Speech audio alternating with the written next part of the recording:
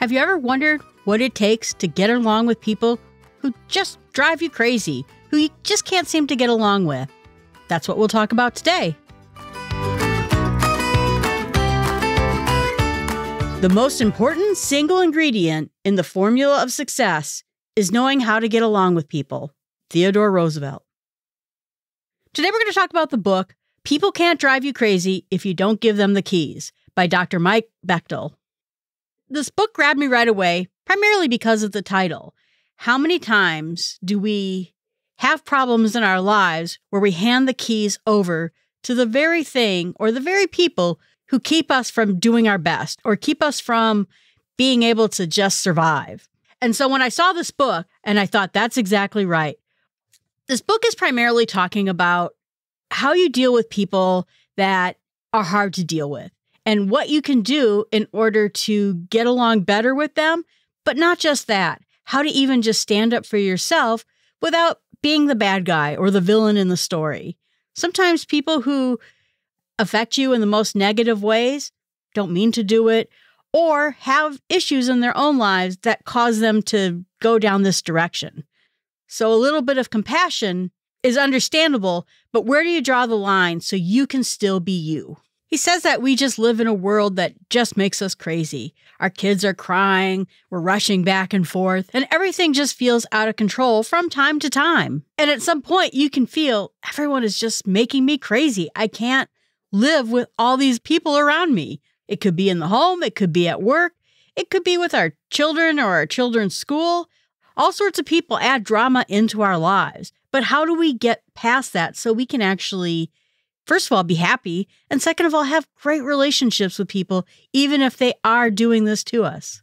And the bottom line is that we all have people in our lives that we disagree with, we feel there's a lot of drama involved with them, or that we can't have rational relationships with them. There are very few people who just glide through life with perfect relationships and nothing ever goes wrong. He says that we have this emotional place where we feel pretty in control of our lives, we're comfortable with it. But if we leave the area where we're comfortable, chances are it's because someone else pushed us out of that comfort zone. And in the end, it's drama. Anything that makes us feel unsettled and he says we assume that life would be better without all the drama. We can't really do that. We live in a world with people with different agendas, different ideas of what's right and wrong, different thoughts about it. And now what we will tolerate with people has drastically gone down. Before, we'd break off relationships with people if they were in jail or did some horrible crime. But now we'll break off relationships with people because we disagree with them on all sorts of topics our level of what we will accept from others is no longer at a place where we can have decent relationships with anybody because there's all sorts of ways that people are going to disagree with us. And the question is is can we have relationships with people we disagree with and still have that comfort level in our own lives? And to be honest with the whole situation, it's not really what other people are doing to us. It's what we do in reaction to what those people are doing to us. Are we calling it quits on all sorts of relationships because we can't tolerate what they're doing? Do we yell at people? Do we correct people? Do we put them in their place? That's the fun thing, right? Particularly on the internet. We're going to put them in their place. We're going to put the smackdown on them so that they can't even begin to live their lives. And that's not how a society or a family or a group of people works at all we don't have to react in such a way to everyone we meet. Because in the end, we think the other people are causing drama, but it turns out we're the ones that are causing drama. And he said that the way we can tell things are going awry is that, first of all, when something involves our emotions. And I think that's the root of why everything is making us crazy. Because we used to be able to disagree about all sorts of things, but we didn't get emotional about it. Now everything's emotional. You triggered me. I have to recover from what you did. We drag our emotions into everything. Then the second point is it usually involves other people. When you're not around other people, not much drama really happens.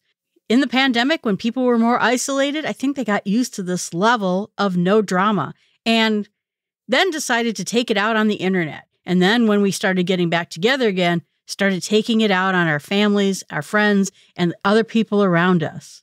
The third item, he says, is that when something is unexpected, it shocks us. That's when we get the most upset. So if we think we know where a relationship is going or something is happening and suddenly it's shocking, now we're upset. And that unexpectedness really makes it much worse. And then he said the fourth issue is when things are personal. That might be too why we try to tear everyone down so much more than we used to, because now everything is personal to us. We can't just say, oh, I agree to disagree, or I respect your opinion. I just don't happen to believe that way. But now we've made everything personal. And then the fifth item is that he says it's exaggerated. You're the devil. And all the other types of names we call people that we don't really mean. We don't think other people are the devil. We don't think other people are bad people. We just disagree in the end. But it's that exaggeration that tears our relationship apart. A lot of us feel uncomfortable about it because we like to have control over our lives and control over everything that goes in our lives. We like to know that our little worlds are perfectly ordered. And that is not how the world works. Our worlds, our existence, our families, our friends are not ordered people. And he said that what we do that ends up being wrong and how we react to other people is we decide that we're going to change other people. We're going to change them. We're going to say that magic sentence that allows them to see that they were wrong, we were right. They'll go, Oh, yeah, you're right. I get it. And our decision to change other people or change the situations, or even this belief that we can change other people, is really devastating to almost every relationship we have. And then the last way we react is we just leave the situation. Maybe we storm out. Maybe we break off that relationship. And that way, we no longer have this drama in our lives, but we also no longer have other people in our lives. When someone storms out on us, that's the end of the conversation. It's not a beginning of a conversation. It's not the beginning of reconciliation. It's the end. So he says that when you analyze a situation, the first question you have to ask yourself is there something I can do about this? Maybe can you change the situation itself? And his example, everyone's at your house for Thanksgiving, and that sort of pushes you into a pressure situation. Maybe instead of that, could there just be a Thanksgiving meal at a restaurant where it's a shorter period of time, there's less stress involved with it, and now you've taken the punch out of the big event? Then he says the next question is if you can't change the situation, can you change you so that you have a better viewpoint about what's going on? Can you change your attitude about it so you're not angry? You're letting it roll off you so that you can have a good night. And in the end, if we can't change that situation, if we can't change our attitudes, then maybe we do have to just quit.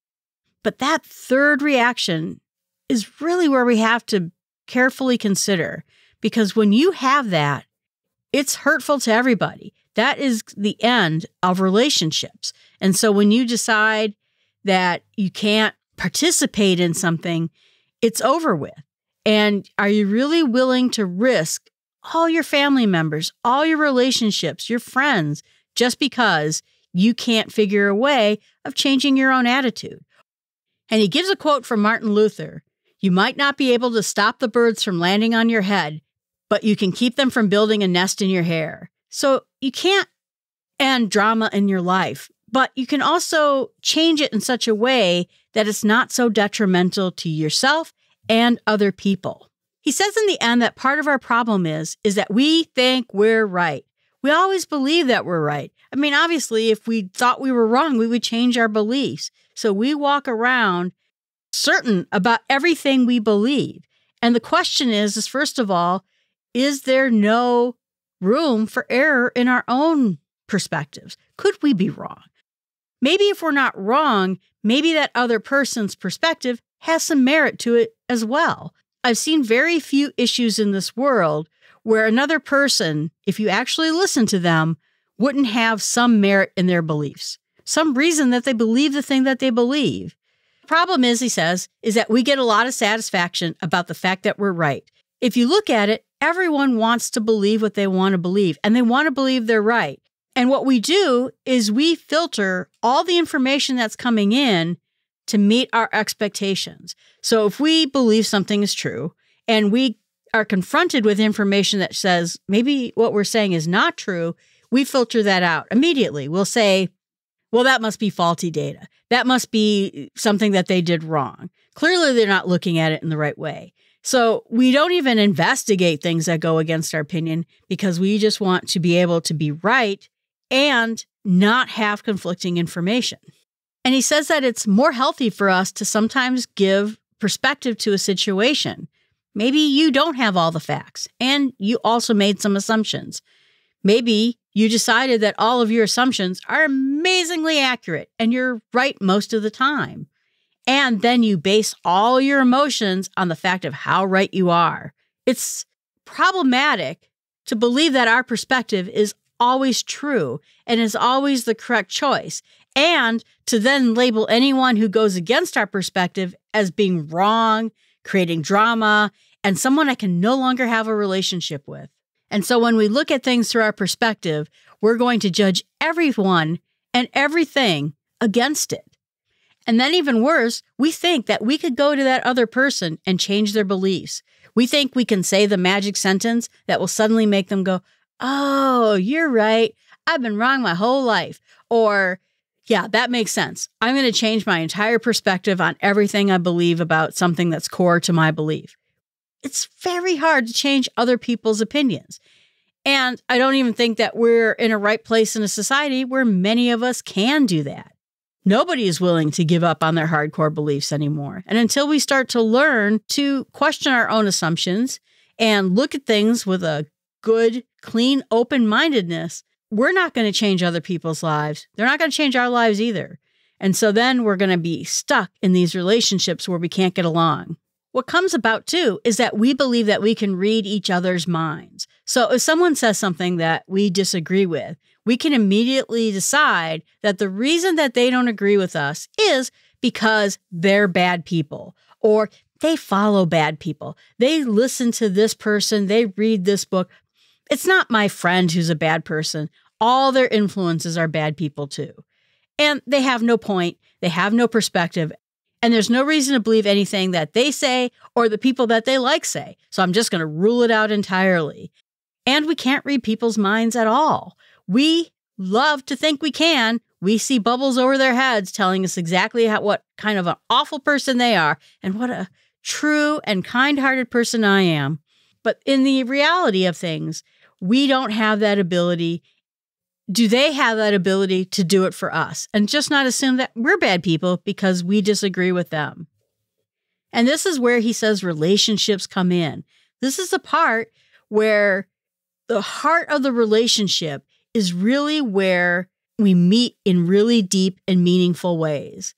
It's not so much that relationships work because we agree with each other on everything or that we see the same sources as being respectable and some of the best and deepest relationships are those relationships who are willing to challenge us and challenge what our thinking is. And he says that the more we connect with people and really look at that person in an honest way and listen to them, that's when that relationship blooms. It makes it more meaningful in our lives.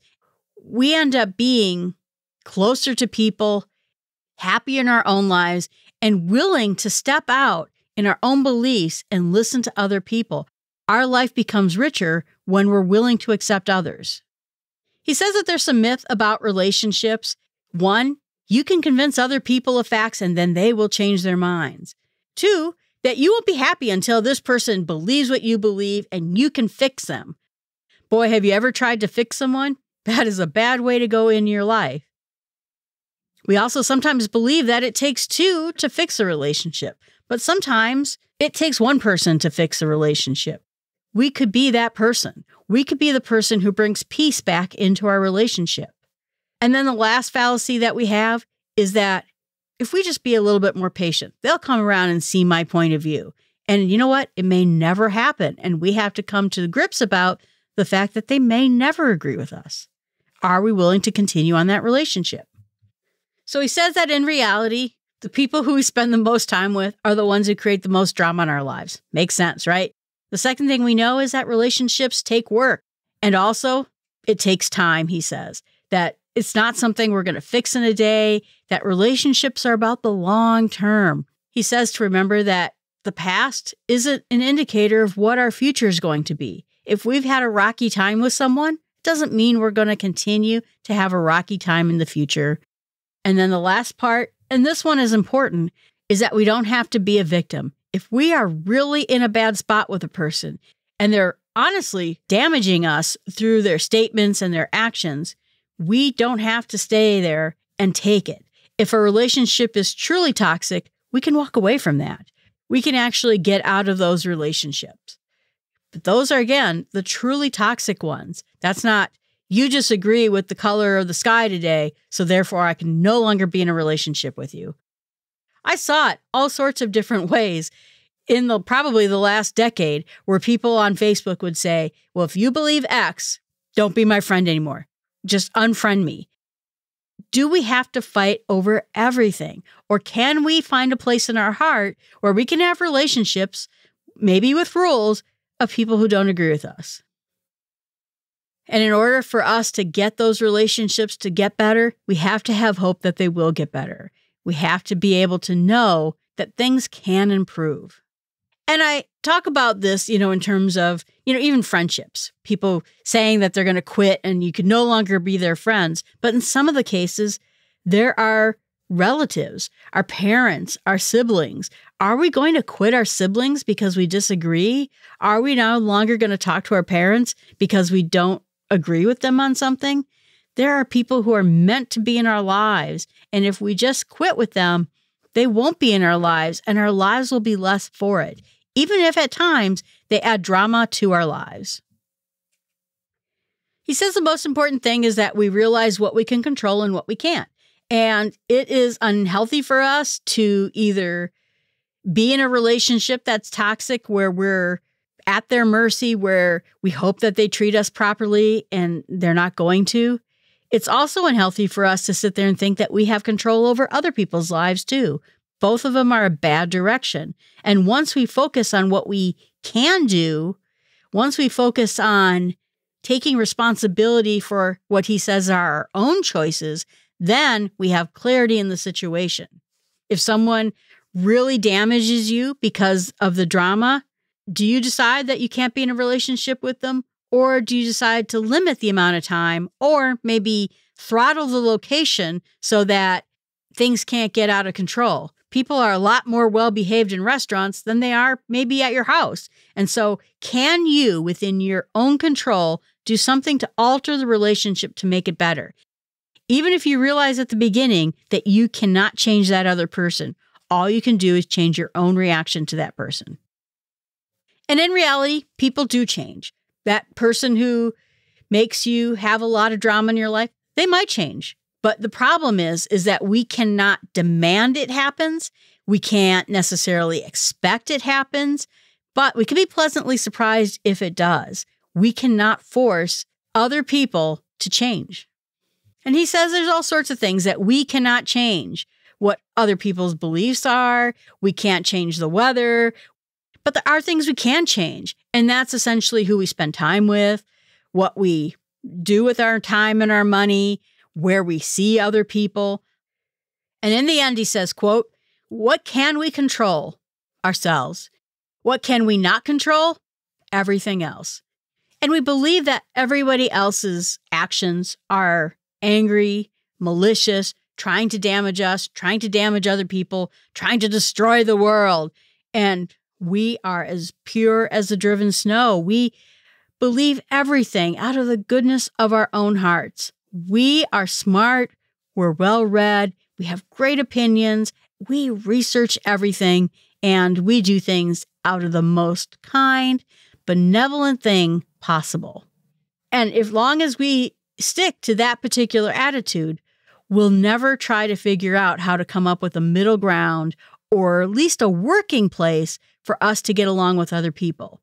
They're bad, we're good, that's the end of it. And he says that in order to get to that spot, communication is the key.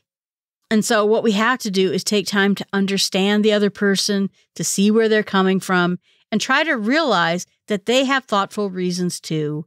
They aren't malicious. We're not malicious. We're all trying to just get along in this world and find the best path forward. It's hard because we see everything through our own lens. There's an old joke that talks about fish being in a pond. And one fish says to the other fish, Well, what do you think about the water in this pond? And the other fish goes, Water? What's water? And that's because that fish lives in the water. There's no seeing outside of the water. It's everything to them. And so, is there a world outside the water? No. To that fish, inside the water is everything. And that's the same thing with our own views. Inside our own brain, it's everything. We're great, we're wonderful, and everything outside of it's bad or malicious or malevolent or something that's going to come after us. And that's where we have to notice that perspective and thinking outside of our own world a little bit will help us get better relationships with people. And so, what we can only hope for when we don't change people's minds is that we can hope to be something influential in their lives. If you have ever met someone who's addicted to something, you're not going to change them. If you found people who get angry and have rage issues, you're not going to change them either. But can you be an influence that moderates the behavior or at least around you prevents that from happening? That's the best that you can really hope for when you're talking about what you can do when other people are just making you crazy. Be a good influence on them. And that might mean that when they rage and they anger and they yell, you don't yell back. You stay calm and you say the thing that tries to calm down the situation. And I'm not going to get all biblically on you, but there is a passage that has been a ruler in my life. Romans 12:18. If it is possible, as far as it depends on you, live at peace with everyone. You don't start fights with people. You don't try to beat them over the head. And if taking a kind word, if staying quiet for a moment, or thinking of a different way to react to people allows you to be at peace with someone else, that's the right way to go. He says it's important that we realize that there's a difference between expectations and expectancy. And that means that expectations are where we get into trouble. I expect you to change. I expect you to view things my way. That's really the wronger way to do it. He says the healthier person comes when someone has expectancy instead. And that means I don't know what's going to happen. And that you're not demanding or insisting on a particular action to happen. And that you really don't know how it's going to turn out. He says in the end, you have to just watch and see what happens next.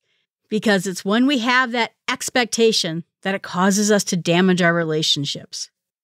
And when we get into those situations, we have to really take our brain off of what he calls autopilot. Our autopilot is what gets us into trouble too. We react, we say something, we demand that somebody else changes.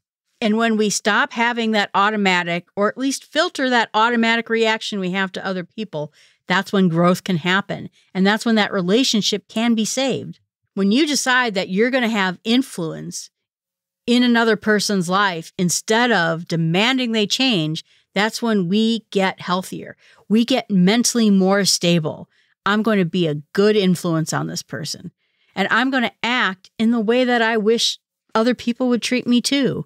That influence aspect makes us happier and it builds up trust in the relationship because that other person knows too you're not going to beat them over the head about everything you disagree with. He says in the end, we can't choose our family, we can't fire our family, and we can't get rid of our family. These are the people that have been with us our whole lives and is a part of us. It's terrible when I see people say, "Oh, I no longer talk to my family because they believe in XYZ." That is the nuclear option. That is the decision you make that ends it all. And it's damaging to everyone around you. And he says that the reason that these family relationships are so hard to get along with is first of all, they're with us our whole lives. We have a long time history with them. They are close to us. They usually live maybe in the same town or same area with us. We have patterns of behavior that we've built up over all those decades of time that we spent with that person. So now we've fallen into a rut of behavior and there's a lot of emotion tied up into it. And that's why families, more than anything, really screw up our ability to get along with them more than anything else. So, what we can do is we can just decide again that it's not our job to fix the other person. We know other people can change. We're just not going to count on it. And as much as we can, we're going to be a good influence in the situation. We can do things like hope and pray and avoid being a victim of this particular relationship. Just because we're going to have a relationship with our family doesn't mean that we have to be victims of the family either. And in the end, we need to realize that if we end the relationship, that's a terrible answer. We need people and we need our community, even if there's drama involved in it. And so he says that we have to quote, we need to talk to the person, not talk about them. And so that also means ending gossip about them. If you're having a hard time with them and you're sitting on the phone with siblings complaining about that other person, is it possible that you could just talk to the other person and say, when this happens, it makes me very upset because you're yelling at me or you talk past me or whatever it is that is the drama point and talk to that person to see if there's a way we could disagree but not in a toxic way. So, this is the first part of our podcast where we're talking about other people and how we can find ways of coping with other people. In the next podcast, we're going to talk about what can we do to change our own lives and change how we can be better with other people. So, my challenge to you is to identify one relationship that could use a little attention and see is it possible you can change the circumstance of how and where and when you meet to take a little bit of the punch out of the situation? Write down that relationship and write down three things you could do that might mitigate some of the annoying drama that you have between you. And now our fun entertainment advice of the week comes from Uncle Buck. Hey, how you doing? Who are you? I'm your Uncle Buck. Do I have an uncle? Unfortunately. Ooh. Holy smokes. He's cooking on garbage.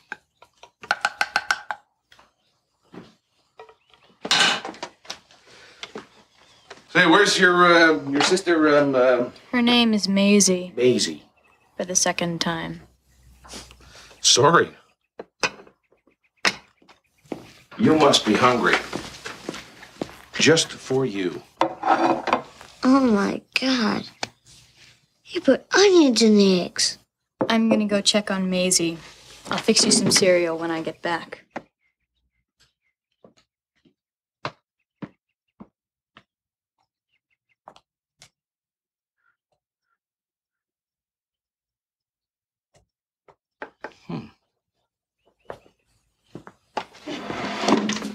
Can I ask you something? What? Is your sister always this pleasant? No, she's usually in a bad mood in the morning. Ah, that was John Candy and Macaulay Culkin. What a great movie that is. And shows you the importance of family, even if they do make you a little bit crazy. He was able to assess that she didn't like him, and he tried to figure out ways to repair the relationship. Maybe not in the best ways, but he tried really hard. Everyone, thanks so much. I appreciate you being out there. If you think about it, please leave a review and make sure that you tell other people that they can remove the drama in their life through small steps.